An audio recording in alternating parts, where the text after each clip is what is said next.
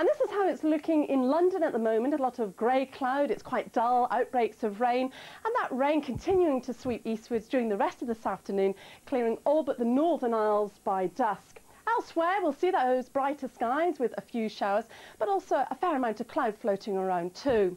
Now, it is going to be windy, particularly in the north, where we'll see gales in exposed areas, and that's going to make it feel quite chilly, despite temperatures around the seasonal normal of 5 to 8 Celsius, possibly touching 10 or 11 in the far south. Now during this evening we'll see that frontal system moving out into the North Sea and then wintry showers packing their way into northwestern Northern Ireland and parts of western Scotland. But elsewhere essentially dry and clear leading to patchy frost and also some patchy ice on untreated roads and pavements.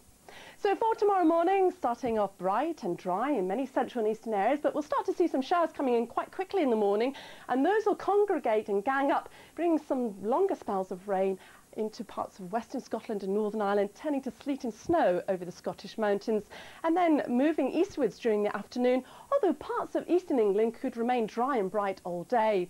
Still quite windy though, temperatures around 5 to 7 in the north, not as high in the south as today, around 8 or 9.